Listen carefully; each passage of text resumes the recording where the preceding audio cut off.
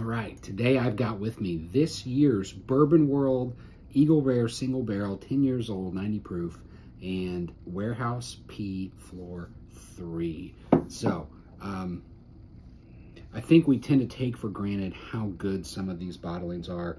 And even though these are rare allocated items, again, I think we take for granted how good uh, Eagle Rare can be. And in this particular case, unlike our uh, Blanton's pick this year, which I thought was deliciously off profile.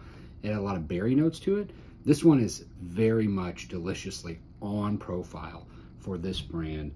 Um, little honey, a little soft honey on the nose, a little touch of spice, a little touch of oak. It really has something for everyone to love.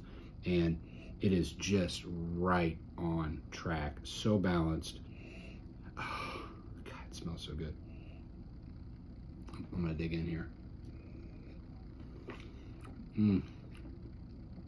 Sweet, and then the oak, a little bit of that fruit note, a little bit of that honey. Some of the dessert notes come out, the toffee, that kind of creamy butterscotch is there as well. There's a little bit of cocoa, there's a little bit of coffee there. I mean, really, you can taste every flavor in this particular single barrel. I'm so glad we've.